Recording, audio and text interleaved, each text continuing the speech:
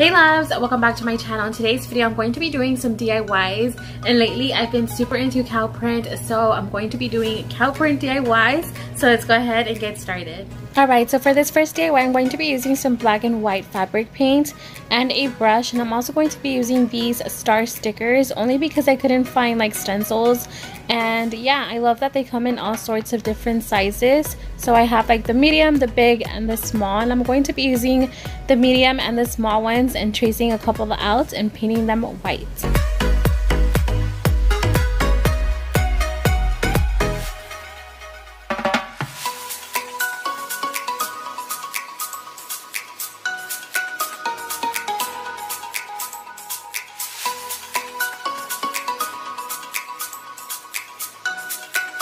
Okay, so here's when I finished painting the stars and I actually had to do three layers of paint. That way they can stand out because the paint on denim just washes out but it looks really nice with even one layer of paint but I just wanted to do three so it can stand out a little bit more.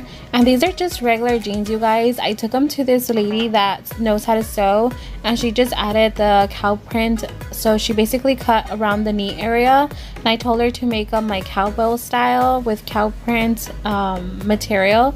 They came out really pretty and then now I'm just going to be doing the cow print on the stars.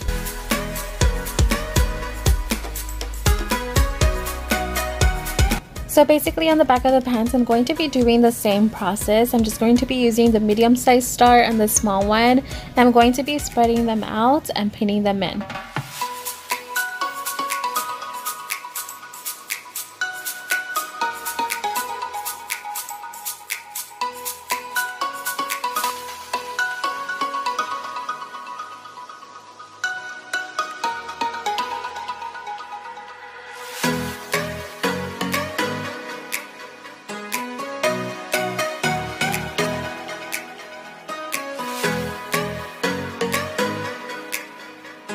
Okay, so for this next DIY, I'm going to be using these white tennis shoes, and I actually got these off of Walmart for $5 and I wish they had a size 7 but I had to get 8 because they didn't have my size but that's okay. So basically what I'm going to be doing is just black dots cow print style and I'm super excited to show you. So the first thing that I'm going to be doing is just drawing them in with a pencil. That way you won't do any mistakes with the paint.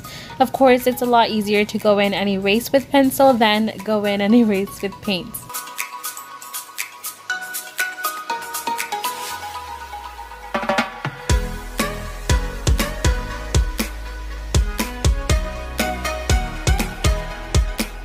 So for the shapes, if you have no idea on how to do it, definitely just go online and search up cow print and then they come out like shapes kind of like oval, circular style.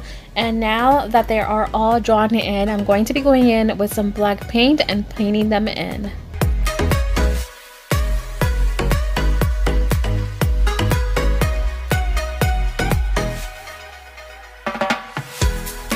Okay, so I just finished this one up and it looks like this.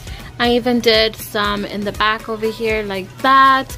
Now I'm just gonna be doing this one. I did end up putting more dots just because I felt like it needed more but that's the difference. This is one done and the other one not and it does look glossy because it's still drying up but it should dry up matte hopefully. Now I'm gonna do this one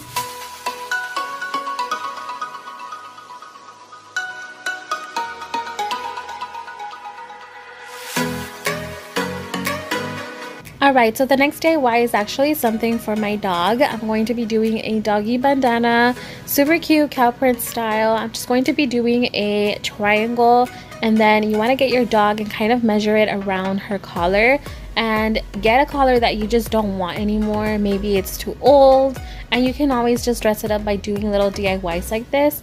So I'm actually using some fabric glue and I'm gluing it down but you can also sew it in if you want it to be a little bit more sustainable. And I'm also gluing the edges in forward that way it won't look all crooked and stuff. And yeah that's it. Super easy to do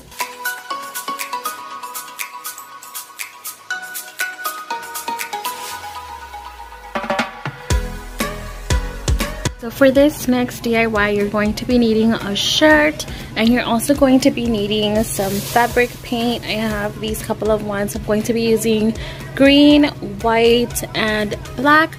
And then I'm also going to be using some cardin. I'm going to be drawing the state of Texas. That's where I'm from. So I'm going to draw it and then cut it out. And then I'm going to be tracing it here, painting it white and doing a cow print. And then I'm going to do a little cactus next to it.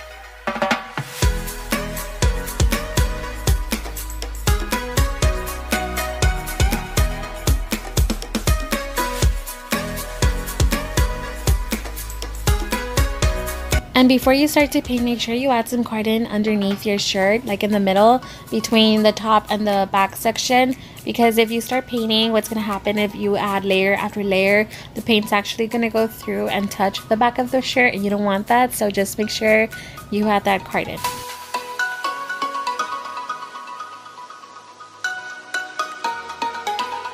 So I ended up getting really into this DIY and I forgot to film the rest but to walk you through basically what I did was just get more cardboard. I cut up a piece of cacti and then just traced it, painted it green, did black dots, traced it white and then did cow print style on the state of Texas and then with the actual little paint bottle I did the lettering that we can come out a little bit neater instead of doing it with a brush. Yeah, that's it. Super easy to do as well.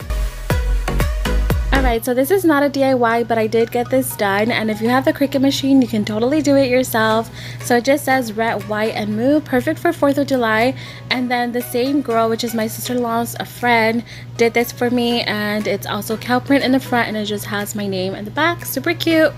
Okay, you guys, so another thing that I made is this top knot. So basically, it's a headband with this big um, ball right here. It looks really cute, really um, like western style. Usually it's mostly used for babies, but it looks really cute on like when you dress up western style and then like throw a top knot, especially if it's like animal print. It looks really cute.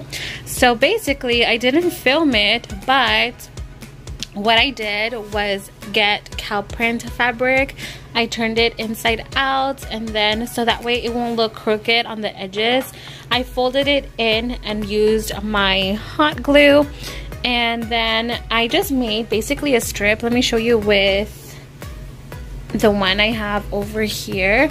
So it looks like this a really long strip. You kind of want to measure it out to see how long you want it across your head. Depends how big your head is.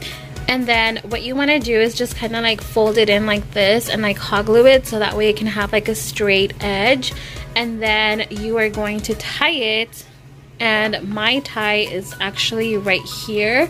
And then I grabbed a bun holder. I'm gonna insert a picture that way you guys can see what I'm talking about. But I just grabbed extra fabric and I wrapped it around and then hot glued it to the front. And that's it. That's super easy to make. And yeah um, looks really cute on also